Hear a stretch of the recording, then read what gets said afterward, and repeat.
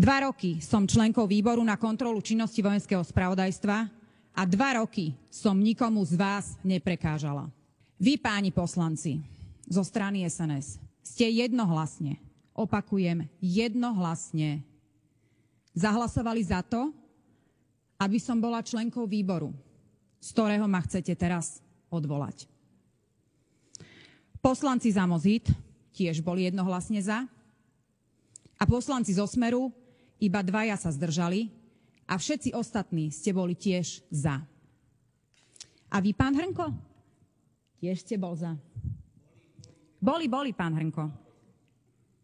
A vy, pán Danko? Tiež ste boli za. Páni, a teraz chcete naozaj trápne tvrdiť, že ste o mojej minulosti nepočuli. Veď pred parlamentnými voľbami to bolo neustále prepierané vo všetkých médiách. Dokonca mi venovali posledné predvolebné číslo plus 7 dní z 3. marca 2016 aj s titulkou. A predstavte si, pán Danko, vy ste dokonca boli v tom istom čísle a na tej istej strane ako článok o mne.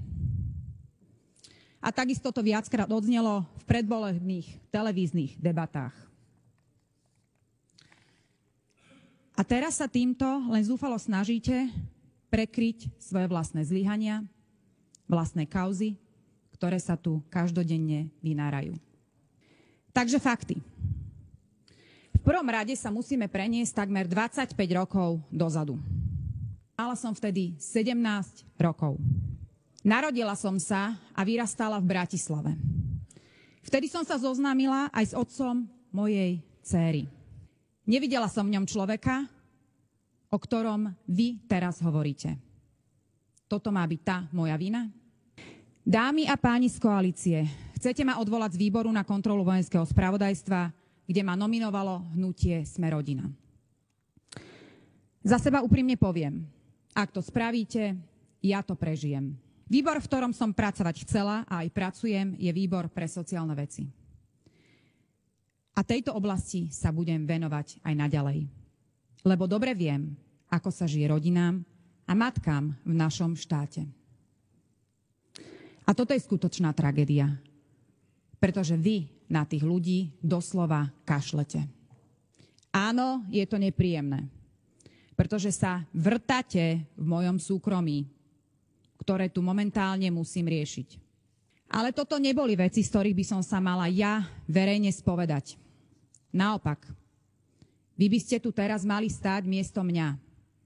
Vy, čo okrádáte ľudí vo verejných súťažiach a už neviete, čo so sebou. A preto ešte raz chcem povedať na záver. Ja nemusím nič skrývať, čo sa o vás povedať nedá. Takže tu, na tomto mieste a teraz vás vyzývam.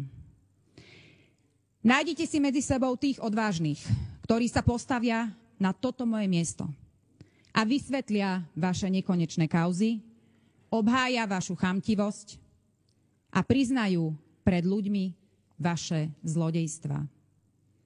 Ja tu stojím ako žena a matka, ktorá vysvetlovala, ako sa v 17 zalúbila do muža.